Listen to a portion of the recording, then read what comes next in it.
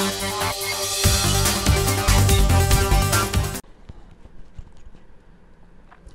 IPL 2019 का नवा match Kings eleven Punjab और मुंबई इंडियंस के बीच मोहाली के बिंद्रा स्टेडियम में खेला जाएगा। आज हम आपको खेलने वाली प्लेइंग ग्यारह का खिलाड़ियों का बताएँगे और उसके बाद हम मैच प्रिडिक्शन की बात करेंगे। जहाँ हम पहले बात करेंगे किंग्स इलेवन पंजाब के ग्यारह खिलाड़ियों की टीम, जो आज का मैच खेल सकती है। ओपनिंग करने आएँगे के राहुल, उनका साथ देंगे क्रिस गेल। तीसरे स्थान पर बैटिंग करने आएँगे मयंक अग्रवाल, चौथे पे डेविड मिलर, पाँचवें पे मनदीप सिंह, छठवें पे सरफराज खान बैटिंग करेंगे। सातवें पे आर अश्विन खेलेंगे।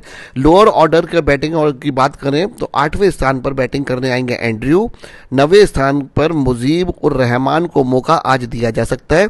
दसवें स्थान पर बैटिंग करेंगे मोहम्मद शामी, ग्यारहवें स्थान पर बैटिंग करने आएँगे अंकित राजपूत।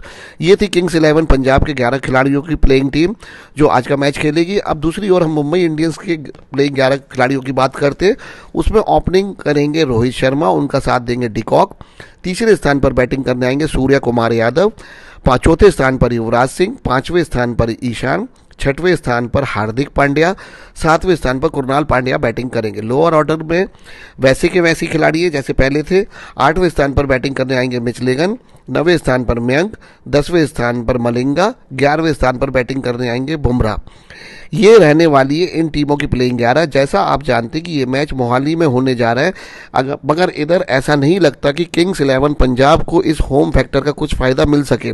हमारा प्रिडिक्शन ये कहता है कि आज के इस मैच में पड़ रहा मुंबई इंडियंस का भारी रहने वाला और मुंबई इंडियंस शायद ये मैच जीते भी।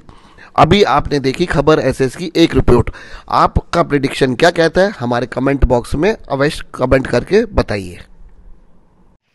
देश विदेश की इसी तरह की मनोरंजक और ताज़ी खबरों को देखने के लिए अभी सब्सक्राइब करें हमारा चैनल और खबर एसएस की सारी अपडेट समय समय पर पाने के लिए कृपया बेल आइकन दबाना ना भूलें।